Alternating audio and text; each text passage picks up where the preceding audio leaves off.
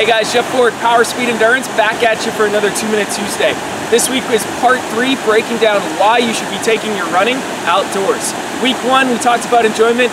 Week 2, we broke down how the leveling and the terrain is going to be essential for you to actually train if your races are on the road. Your body needs to acclimate, acclimate to the bumps, the curves, and the upwards and downwards uh, side of running.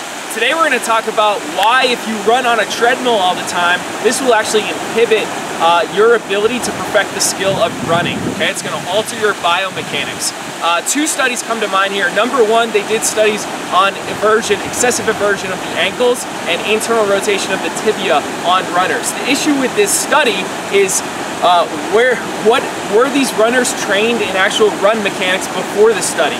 Obviously, if we've never been taught the skill of running, um, we've got to throw out studies that show uh, deviations from the standard that we've established. So that one wasn't quite as, as good, but it did show that using a treadmill, there was more rotation of the lower limbs uh, versus ground runners. The second study, which has a little bit more validity in my mind, uh, was on high-level 10K runners. What they did is they had runners run on a treadmill at 103% of their 10K time trial pace, so faster than their body uh, typically runs on the ground.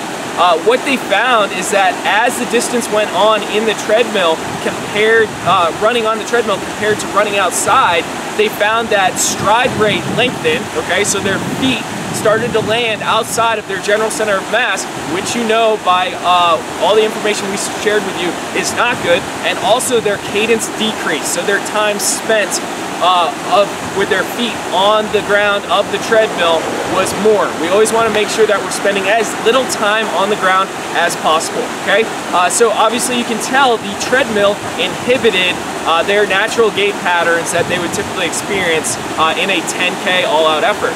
Um, so what this means for you is that you can't be uh, running on a treadmill all the time or it's gonna mess up your skill. The best comparison here is if you sit all the time, it's sort of gonna be that gradual effect. It's not the sitting for, you know, eight hours on day one that affects you. It's that sitting for 10 years, 15 years, 20 years that then starts to wreak havoc on your hips, your lower back, and pains all around. Same deal is our perception of treadmills is that if you always run on a treadmill, those slight variations that uh, difference in the in the mechanics of the treadmill doing some of the work for you is going to alter uh, your body over time and inhibit your movement. So uh, that's this week's tip on making sure to take your running outdoors.